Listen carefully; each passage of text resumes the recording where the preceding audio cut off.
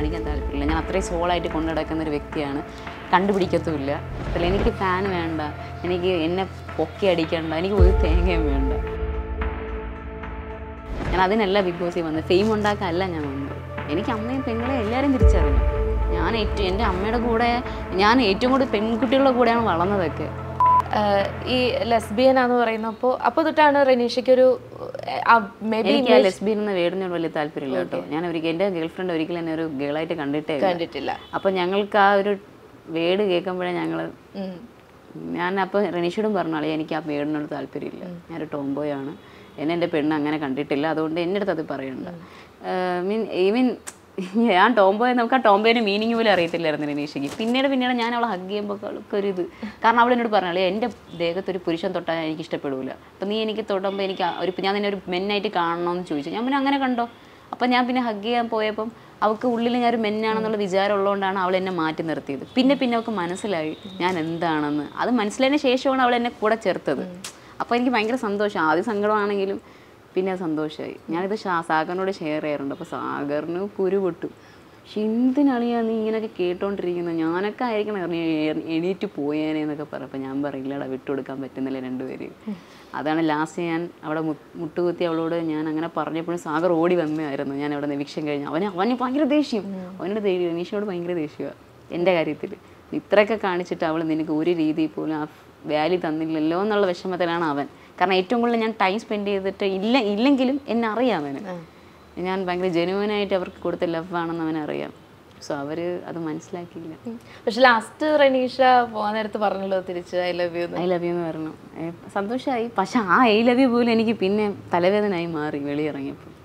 നമ്മൾ ഈ I love you എന്ന് പറയുന്ന വേർഡ് നമ്മൾ എന്താ ഉദ്ദേശിക്കുന്നതെന്ന് ശരിക്കും പറഞ്ഞാൽ ജനങ്ങളിലേക്ക് കൺവേ ചെയ്യാൻ പറ്റില്ല പറ്റുന്നില്ല അതല്ലേ. ഐ ലവ് യു ഞാൻ എന്റെ പാർട്ണറിനോട് പറയുന്ന ഐ ലവ് യു ഇങ്ങനെ അല്ല അതൊരു സ്പെഷ്യൽ ലവാണ് അതിനി എനിക്ക് വേറെ ഈ ലോകത്ത് ഒരു പെണ്ണിനോടും പറയാൻ പറ്റൂല.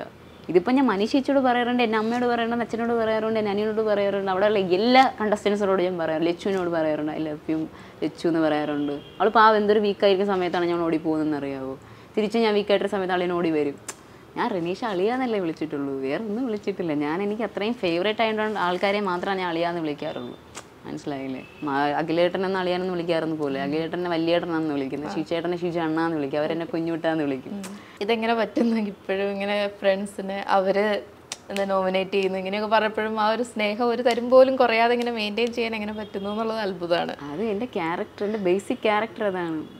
എന്നെ ഏറ്റവും കൂടുതൽ കുറ്റം പറഞ്ഞ രണ്ട് വ്യക്തികളാണ് അവർ പക്ഷെ ഞാൻ ഏറ്റവും കൂടുതൽ സ്നേഹിച്ച രണ്ട് വ്യക്തികളാണ് അവർ ഈ ബിഗ് ബോസ് ഹൗസിൽ ഇത്ര ഒറിജിനലായിട്ട് നിന്നാലും പറ്റില്ല എന്നുള്ളത് മനസ്സിലായോ?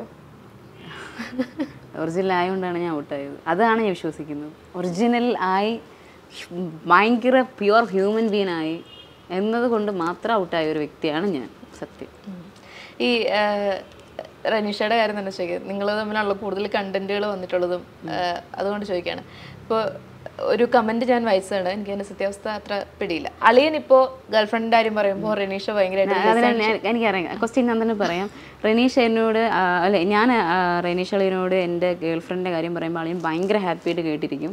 അതേ സമയത്ത് അളിയൻ അളിയന്റെ സ്റ്റോറി പറയുമ്പോൾ അളിയൻ അളിയന്റെ എക്സ് ലവറിന്റെ സ്റ്റോറി പറയുമ്പോൾ ഞാൻ പറയാം അളിയൻ കേൾക്കണ്ട എനിക്ക് താല്പര്യമില്ല. എന്തുകൊണ്ട് പറയുന്നതെന്ന് വെച്ച് കഴിഞ്ഞാൽ ഇവളിത് പറയാൻ നിൽക്കുമ്പോൾ ഇവളുടെ ഇവൾ ഓൾറെഡി അവൾ എക്സ് ലവറിനെ ഭയങ്കരമായിട്ട് മിസ് ചെയ്യുന്നുണ്ട് അവൾ പറയുമ്പോൾ കണ്ണിൽ ആ ഒരു ഇതിനെ കാണാൻ പറ്റാറുണ്ട്. അവൾ ഭയങ്കര ഭയങ്കര വിഷമത്തോടെയാണ് അവൾ അവൾ എപ്പോഴും പറയാറുണ്ട് അളിയാ നിന്നെ ഞാൻ മീറ്റ് ചെയ്തതിന് ശേഷമാണ് ഞാൻ കുറേ കാര്യങ്ങൾ മനസ്സിലാക്കിയത്. ഞാൻ എന്തൊക്കെ തെറ്റ് അയാളോട് ചെയ്തിട്ടുണ്ടെന്നുള്ള കാര്യം.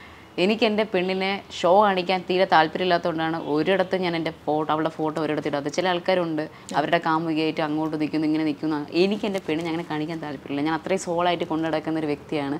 കണ്ടുപിടിക്കത്തുമില്ല. കണ്ടുപിടിച്ചാലും കണ്ടുപിടിക്കാൻ വഴിയില്ല. അതുകൊണ്ട് അവൾ അങ്ങനെ സേഫ് ആയിട്ടിരിക്കട്ടെ എന്റെ കല്യാണത്തിന് കണ്ടാൽ മതി അതെ കല്യാണം ആഗ്രഹിച്ച പോലെ ആ കല്യാണം നടക്കും. ഞങ്ങളൊക്കെ വിളിക്കുവോ? എവിടത്തല്ലേ നൂറ് പേരെ കല്യാണത്തിന് ഉണ്ടാവുള്ളൂ. ഞാൻ ഓൾറെഡി അവിടെ വെച്ച് പറഞ്ഞിട്ടുണ്ട്. നൂറ് പേരും എനിക്ക് ഭയങ്കര വേണ്ടപ്പെട്ട ആൾക്കാരായിരിക്കും. അവിടെ വന്നിട്ട് മറ്റേ ഇവിടത്തെ പോലെ കല്യാണം കഴിച്ച് കല്യാണം കഴി ഫുഡൊക്കെ കഴിച്ചിട്ട് അയ്യേ ഇവൻ എന്താ കുറ്റം പറഞ്ഞിട്ട് പോകുന്ന ഒരുത്തിനെ ഞാൻ അകത്ത് കയറ്റൂല. പിന്നെ ഇവൾ പറയുന്നത് ഈ സ്റ്റോറി ഇത് വെളിയിൽ ഉൾട്ടായിട്ട് മാറും. അവളൊരു തേപ്പ് കാര്യം എന്നൊരു പട്ടം അവൾക്ക് കിട്ടും. രണ്ടാമത്തെ കാര്യം അവൾക്കിടയിൽ നടന്ന പ്രൈവറ്റ് ആയിട്ടുള്ള കാര്യങ്ങൾ വരെ പുറത്ത് വരും. അവർക്കൊരു പ്രൈവസി ഉണ്ടല്ലോ. ഞാൻ എന്റെ ഗേൾ ഫ്രണ്ടായിട്ട് പറയുന്ന സ്റ്റോറി എന്ന് പറഞ്ഞാൽ അതിനകത്ത് പ്രൈവസി ഒന്നുമില്ല നോർമൽ ആയിട്ടുള്ള കാര്യം. പ്രൈവസി ഞാൻ പറയൂല. അതെനിക്ക് അവൾക്ക് മാത്രമുള്ള കാര്യം. ഇത് പറയുമ്പോൾ ഇവളെ തുടക്കം മുതൽ അവസാനം വരെ പറയണം. അത് അയാളെയും ബാധിക്കും ഇവളുടെ കാര്യത്തിലും ബാധിക്കും. പോയ ഒരു വ്യക്തിയാണ്. തിരിച്ച് പാച്ചപ്പ് ആവാൻ നിൽക്കുന്ന ആൾക്കാരുമാണ്. അവൾക്ക് പാച്ചപ്പ് ആവണമെന്നുണ്ട്. അതുകൊണ്ട് ഞാൻ പറഞ്ഞു അളി എനിക്ക് കേൾക്കണ്ട നൂറ് ദിവസം കഴിഞ്ഞിട്ട് അവൾ പറഞ്ഞിട്ടുണ്ട് അളിയ പുറത്ത് വന്നിട്ട് റിയൽ റിലേഷൻ നീ കാണും. ഞാൻ ഇങ്ങനെ അല്ല അളിയ. ഞാൻ കുറച്ചും കൂടെ ക്ലോസ് ആണ് എല്ലാവരും ആയിട്ട് എന്റെ ഫ്രണ്ട്സിന്റെ അടുത്ത്. ഞാൻ അതുകൊണ്ടാണ് അത് കേൾക്കാൻ മാക്സിമം ഈവൻ സെറീനെ അവളുടെ പാസ്റ്റ് ലെവറിനെ പറ്റി ആദ്യത്തെ ലെവറിനെ പറ്റി കഥ പറയുന്നുണ്ടായിരുന്നു. മിഥുൻ ചേട്ടൻ ശോഭ ചേച്ചി. ഞാനപ്പോൾ എന്തിനു ആവശ്യത്തിന് അവിടെ പോയിരുന്നപ്പോൾ എനിക്ക് മനസ്സിലായി കഥയാണെന്ന്. ഞാൻ അവിടെ നിന്ന് പതുക്കെ നൈസിനെ അവിടെ നിന്ന് ഒഴിവായി. എനിക്ക് കേൾക്കണ്ട എന്റെ കാരണം നാളെ അത് ആ കാരണം അവൾക്ക് എന്തെങ്കിലും ഹേർട്ടായിട്ടുണ്ടെന്നുണ്ടെങ്കിൽ അതിൽ ഞാൻ റീസൺ ആയിട്ട് കേട്ടോണ്ടിരുന്നു. ഇതേപോലെ പിറ്റേ ദിവസം സെറീന ആളെ എന്നോട് ചോദിച്ചു എന്തിനാളെ എണീറ്റ് പോയാൽ ഞാൻ പറഞ്ഞു എനിക്ക് കഥ കേൾക്കാൻ താല്പര്യമില്ല അളിയാന്ന് പറഞ്ഞു. എന്നിട്ട് സെറീന അപ്പോൾ റെനീഷ് ചോദിച്ചു അളിയാ ഇനി പറ എനിക്ക് കേൾക്കണം എന്ന് റെനീഷ സെറീനോട് പറഞ്ഞു. അപ്പം ഞാൻ അടുത്ത് കിടപ്പുണ്ടായിരുന്നു. അപ്പോഴേ ഞാൻ പതുക്കെ അവിടെ നിന്ന് എസ്കേപ്പായി അത് റെനീഷയുടെ കാര്യത്തിലല്ല സെറീനയുടെ കാര്യത്തിൽ ഞാൻ അതേ ചെയ്തുള്ളൂ. എനിക്ക് തീരെ എന്നിട്ട് റെനീഷ് എന്നോട് ചോദിച്ചു എന്തുകൊണ്ട് അളിയാ നീ കേൾക്കാൻ താല്പര്യമില്ല? അപ്പം ഞാൻ ഒരു കാര്യം പറഞ്ഞു.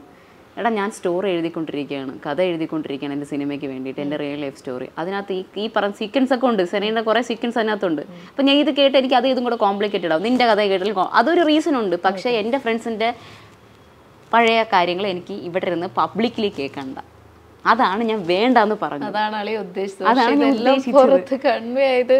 എനിക്ക് എന്റെ ഞാൻ എപ്പോഴും എന്റെ എന്റെ ഫ്രണ്ട്സിനെ സേവ് ചെയ്യാൻ ഈ ഒരു മുറിവ്.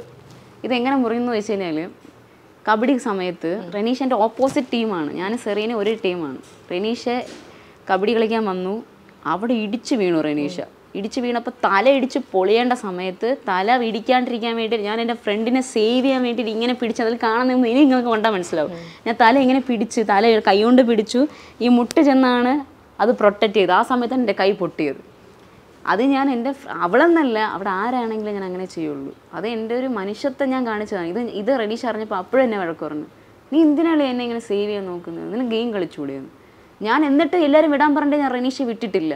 കാരണം ഞാൻ അവിടെ ഒരു ഗെയിം ആയതുകൊണ്ടാണ് ഞാൻ പറഞ്ഞു അളിയാ നിന്നെ ഞാൻ അടിച്ചിടും. നീ എത്ര നീ ഇവിടെ ആര് നിന്നെ ഞാൻ ഒറ്റയ്ക്കാണെങ്കിലും നീ അവിടെ നിന്ന് എണീറ്റ് പോകില്ല എനിക്ക് അത്ര വാശിയുണ്ട് നീ എന്നിലെ പറഞ്ഞാൽ കാണാൻ വേണ്ടിയിട്ട്. ഞാൻ എന്നിട്ട് എണീ എന്നിട്ട് ശ്രുതി ചേച്ചിയും മനീഷി ചേച്ചി അവിടെ പറഞ്ഞു വിട് വിടെന്ന് പറഞ്ഞിട്ട് ഞാൻ വിട്ടില്ല. ആ പിടുത്തത്തിനെ പോലും ആൾക്കാർ മോശമായിട്ട് ചിത്രീകരിച്ച് വെളി വിട്ടിട്ടുണ്ട്.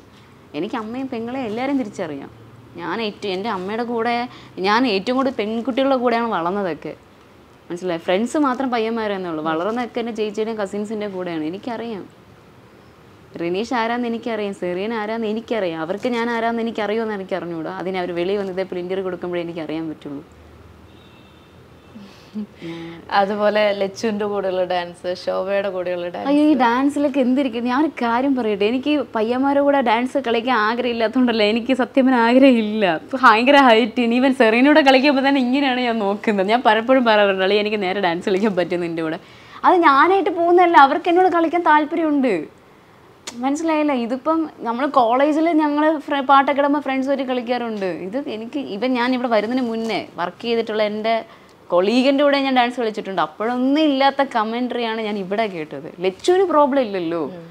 ലച്ചുവിന് ലച്ചുവിന് എന്നെ നന്നായിട്ട് അറിയാം. എന്നോട് ലച്ചു എപ്പോഴും പറയാം ഔട്ടായപ്പോഴും പറഞ്ഞാളിയാ ബോംബെയിൽ വീട്ടിൽ വരണം നീ നിന്റെ പെണ്ണായിട്ട് വരണം എന്ന് പറഞ്ഞിട്ട് പോയ വ്യക്തിയാണ്. മനസ്സിലായില്ലേ? ഇവൻ ശോഭ ചേച്ചി ആണെങ്കിൽ ഇവൻ എന്റെ എന്റെ ചേച്ചിനെക്കാട്ടിലും എൽഡർ ആയിട്ടുള്ള ഒരാളാണ്.